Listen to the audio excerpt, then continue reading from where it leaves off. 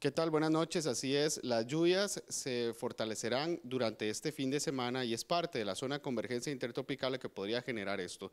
Pero para ampliarnos nos encontramos con Juan Diego Naranjo, meteorólogo del Instituto Meteorológico Nacional. Juan Diego, gracias por atendernos. Buenas noches. ¿Cuáles son las condiciones que tendremos para el fin de semana? Bueno, en general estamos hablando de un fin de semana lluvioso principalmente en la vertiente del Pacífico. Y esto se debe a que en las últimas horas o días la presencia de un sistema de baja presión en el suroeste del Mar Caribe ha hecho que la zona de convergencia intertropical tropical nuevamente se ubique sobre el territorio nacional. Y con esto eh, estará incrementando las lluvias en la vertiente del Pacífico, es decir, Guanacaste, Punta Arenas, podrían estar percibiendo precipitaciones desde primeras horas de la mañana e incluso hasta altas horas de la noche. Esto es un cambio bastante radical comparado con lo que han venido percibiendo en los últimos días, en donde a pesar de que las lluvias fueron muy puntuales, este, prácticamente estamos previendo todo un día de lluvias eh, a lo largo de este fin de semana. Es decir, eh, para la, vertiente del Pacífico, lluvias importantes en el sentido en que podrían ser constantes y ya con suelos saturados, ejemplo, en el Pacífico Sur podría generar algún tipo de afectación, así que muy atentos con eso. Eh, y un fin de semana diferente a lo que hemos vivido en los últimos días, por lo menos aquí en el Valle Central, con tardes ya uno que dice hasta de, de diciembre, ¿verdad?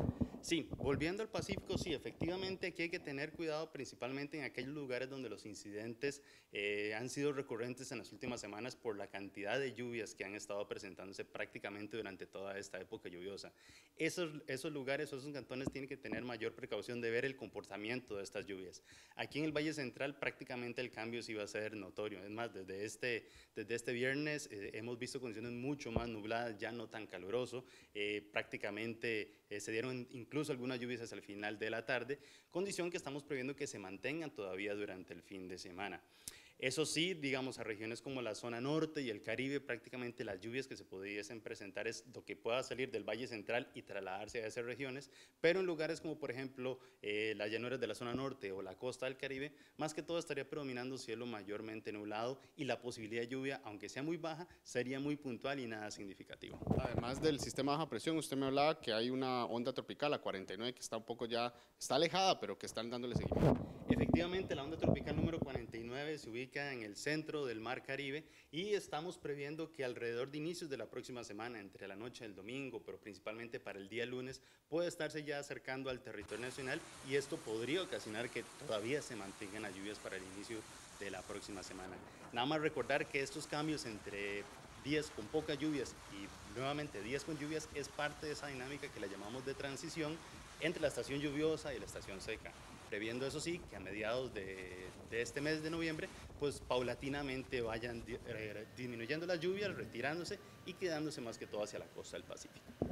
Eh, uno podría entonces ya interpretar periodo de transición, pero sí advirtiendo del tema de que todavía estamos en noviembre, época lluviosa, y que la época, por ejemplo, de ciclones todavía no ha finalizado, no hay que descartar que nos pueda afectar algún fenómeno de eso.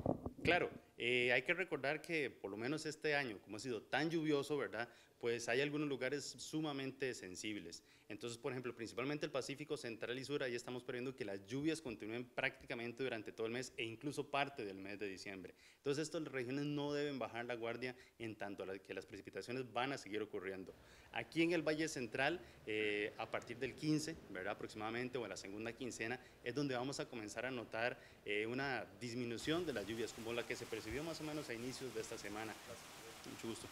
Leo Naranjo, eh, meteorólogo del IMN y por último muy rápido nada más indicarles que la Comisión Nacional de Emergencias mantiene para este fin de semana la alerta amarilla para el Pacífico Sur, alerta verde para la zona norte, Pacífico Central y Pacífico Norte y el Caribe en este momento sin alerta. El Valle Central también mantendría la alerta verde. Esta es la información que tenemos desde el IMN. Regreso con ustedes al estudio. Buenas noches.